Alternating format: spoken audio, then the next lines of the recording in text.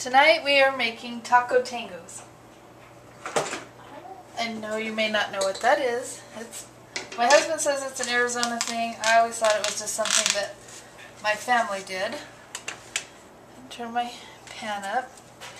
I have two pounds, maybe just more than two pounds. Almost three pounds of regular ground beef.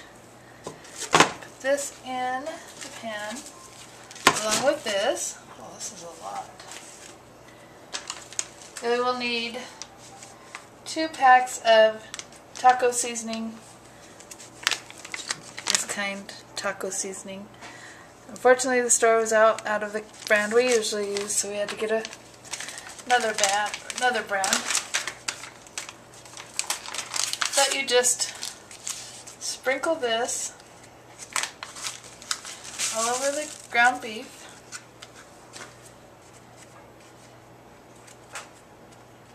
If I can get it open. This is really a quick, easy work night meal. Inexpensive.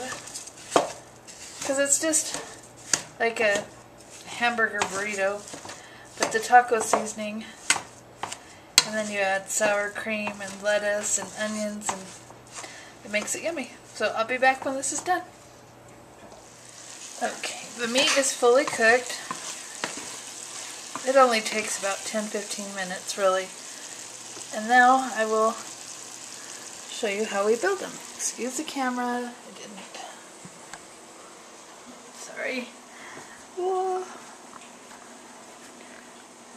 We have chopped up lettuce, onion, grated cheese, fresh jalapeno.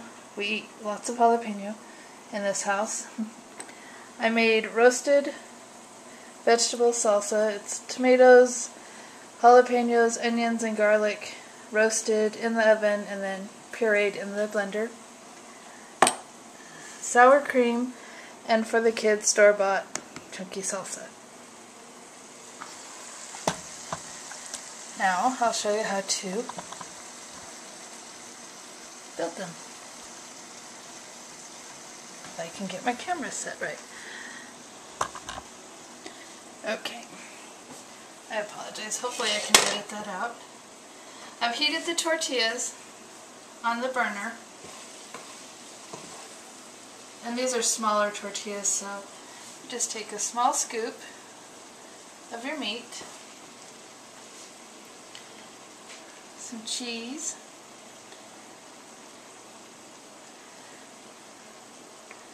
a few onions,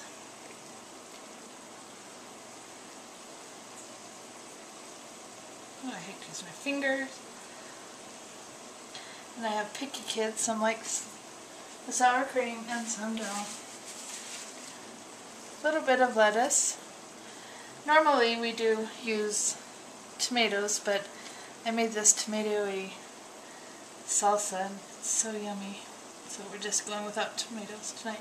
This is for my daughter so I'm not putting the jalapenos.